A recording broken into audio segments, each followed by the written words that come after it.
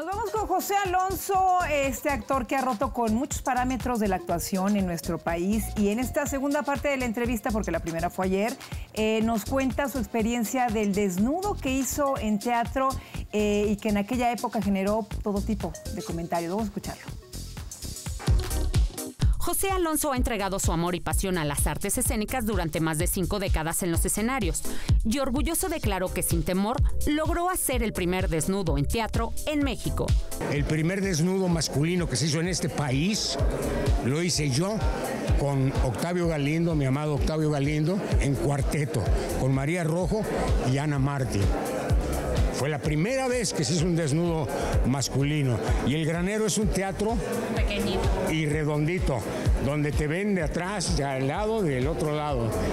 Y, y tuvo mucho éxito, cuarteto. De ahí me compré mi Camaro. El trabajo actoral de José Alonso ha sido destacado también en la televisión y por su desempeño consiguió por años ser uno de los mejores remunerados en TV Azteca. Nunca regateo. Si me ofrecen y yo digo, va. Igual fue en mis 24 años en TV Azteca. Yo nunca pedí un sueldo. A mí doña Elisa Salinas me fue otorgando el sueldo. Y yo arranqué junto con Héctor Bonilla, con todo el alma, en las telenovelas en TV Azteca. Y me siguieron llamando. Por eso es que me quedé 24 años en TV Azteca, porque durante 24 años hice novelas y novelas y novelas y la señora Salinas me pagaba cada vez más. ¿Por qué? Porque teníamos un auditorio. ¿Y por qué? Porque me lo estaba ganando a ley. Es más, me eché como cuatro novelas sin, sin apuntador. Ya lo demás, ya como era mucha la presión, me las campechaneé.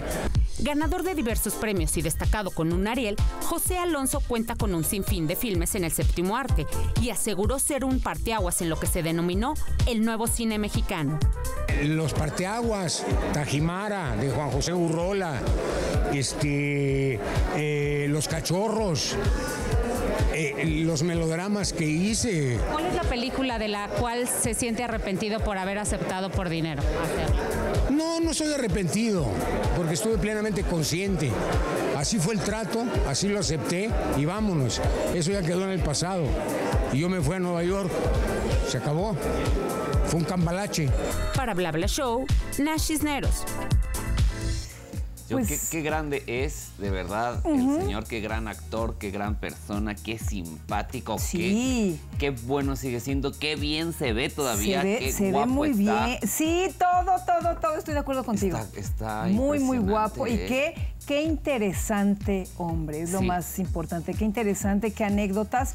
Y lo, ma- y lo más importante es que sigue trabajando. Y lo que él, él dijo, o sea, no solo fue el primer desnudo masculino que sí fue él, eh, él fue parteaguas de muchas cosas. Muchas de las películas que hizo fueron películas que como que cambiaban el rumbo. Incluso La Tarea, que es el de los primeros desnudos masculinos en cine, eh, cambió eh, otra vez el rumbo y abrió, al- abrió la puerta al nuevo cine mexicano este de los 90. De los nove- sí, y se habla mucho de, de la- del nuevo cine mexicano, eh, por ejemplo, con Sexo, Pudor y Lágrimas, por ejemplo, con, ¿no? con todas esas películas que, vinieron la- por ahí a partir.